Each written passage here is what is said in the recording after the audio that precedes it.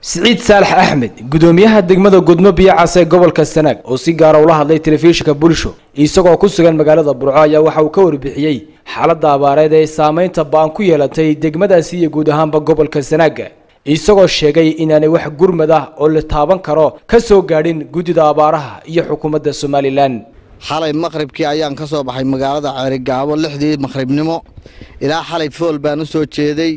Abaarta ballaadhana aan ku soo arkay ilaa ceerigaabo ilaa burco waa abaaris haysato oo dhirtiina waa gubatay ciiddiina waa gubatay.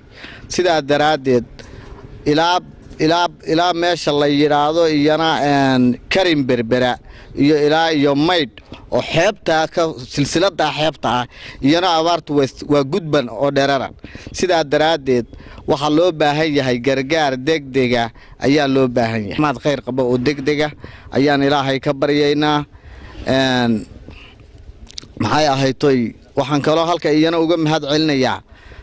Haayadda keer la yidhaahdo oo degmada gudmo biyacas wax weyn ee gobol sanaag oo mukhtaar uu madaxda ka yahay oo gobol sanaag wax weyn weyn weyn weyn ka qabatay degmada gudmo biyacas ninkaa mukhtaar la yidhaahdo ilaahay khayr ha siiye uu wax weyn ka qabtay oo uu dhammaystiray. Wax allaale wixii ay lahayd oo dhan haayaddaa keer ay u dhammaystirtay. Waa u mahad celinaynaa xaaladda abaareed dadka degaanka ahi ee markii hore ee degmada deganaa waxay isku haysteen buurahu qurdubqurdub cawsa iyo in yaroo caleena ayaa dadka reer miyiga ahi ay ka daaqi jireen laakiinse abaartu waa saamaysay. Waxbase eel kaba dhigay dadkii bacaha ka soo guuray iyo dadkii ceelaf weyn ka soo guuray iyo dadkii gar'ada ka soo guuray iyo dadkii fadhigaab ka soo guuray. Intiiba degmadii gudmo biyacas bay hamag ku soo yidhaahdeen. Aan midh ka maqnayn dadkaas jid iyo ceel toonna garan maayaan. Dabadeedna xoolaha ay wataanna waa xoolo bakhtiyaya oo xanuun haya oo cutran weeye xoolahaasuna xoolihii kale ee degaanka ayay u gashadeen. Guddida abaaraha hadday tahay guddida abaaraha ee heer qaran iyo hadday tahay guddida abaaraha ee gobol sanaag wax allaale wax naga soo gaadhay. Allayle in yaroo sagaashan kiishoo daqiiqa mar baa naga soo gaadhay.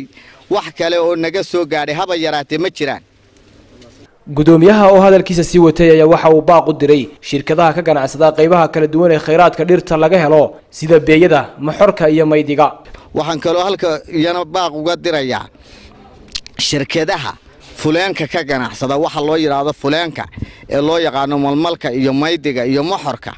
Fuleenka waxa la yidhaahdo hadday shirkadaha hadday samgam tahay hadday asli maydi tahay hadday geella carab tahay hadday ismaaciiliyada tahay waxaan leeyahay wax allaale wixii aa gashataan degmada gudmo biyacas hadba shirkad waliba waxay gashato ayaannu idinku taageeraynaa. Sidaa wax u gashataan ayaannu idinku taageeraynaa oo idinku tixgelinaynaa. Hadday samgam tahay hadday asli mayti tahay hadday ismaaciiliyada tahay hadday geella carab tahay shirkad allaale shirkadii degmada gudmo biyacas horumarinteeda ka qayb qaadata oo tidhaahda meeshii dhaqaaluhu nooga soo baxaya fuleenka aanu ka ganacsan jirray dib baanu wax ugu celinaynaa. Annagu taawun baanu la shaqaynaynaa. Midday doontoba ha ahaato tan iyo intii ay abaartu bilaabantay? Waa markii ugu horreysay ee gudoomiyaha degmada gudmo biyacas ee gobolka sanaaga uu baaq dheer u diray xukuumadda somalilan guddida abaaraha si gargaar deg dega loogu fidiyo dadka ay abaaruhu saameeyeen ee ku soo guuray deegaanadaasi. Maxamed mooto bulisha t v